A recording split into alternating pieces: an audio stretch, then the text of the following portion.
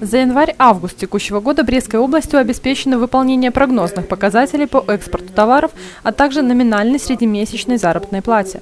Положительные темпы роста сложились по валовому региональному продукту – 103,3% при прогнозе на 2013 год 109,9%, и экспорту услуг – 113,6% при прогнозе 118,5%. Прямых иностранных инвестиций за первое полугодие привлечено более 60 миллионов долларов США.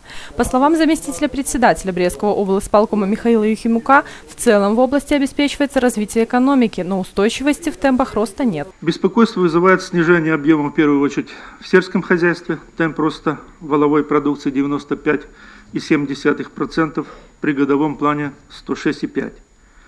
На транспорте объем перевоза груза 95,5%, объем перевозки пассажиров 98,1%. По промышленности рост объема производства в физических объемах составил 103,4%.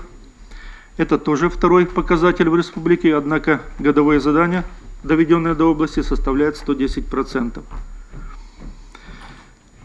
Проблема в таких отраслях, как текстильное и швейное производство. На сегодня это 92,6%. Это производство машины и оборудования 93,2%. Это химическое производство 94,8% и производство и распределение электроэнергии. По сравнению с началом года на 4% выросли складские запасы готовой продукции. Ситуация не критическая, но тенденция на увеличение не может оставаться без внимания, как и качество производимой продукции, которая порой находится не на самом высоком уровне. За отчетный период стало больше убыточных предприятий. По словам Михаила Юхимука, подобная ситуация сложилась из-за отсутствия надлежащего контроля со стороны руководителей. Вторым вопросом, стоявшим на повестке дня на заседании облсполкома, была степень готовности служб жизнеобеспечения к осенне-зимнему периоду. В целом выполнены все намеченные работы по подготовке объектов жизнеобеспечения области к работе в зимних условиях. Э, состояние котельного оборудования на котельных области в целом удовлетворительное.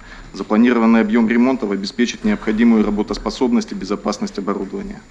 На всех котельных областей, отапливающих социально значимые объекты, имеется резервное оборудование.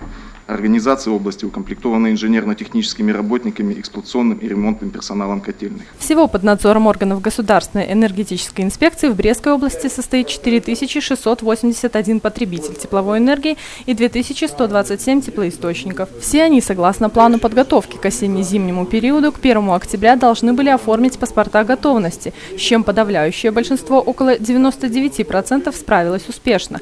Оставшимся предприятиям необходимо решить этот вопрос в кратчайшее кратчайшие сроки. Как и остальным руководителям, ответственным за решение обозначенных в ходе заседания проблем, необходимо найти как можно скорее способы исправления ситуации, сложившейся в некоторых сферах экономики области. До конца года осталось два с половиной месяца, а потому работать придется максимально оперативно.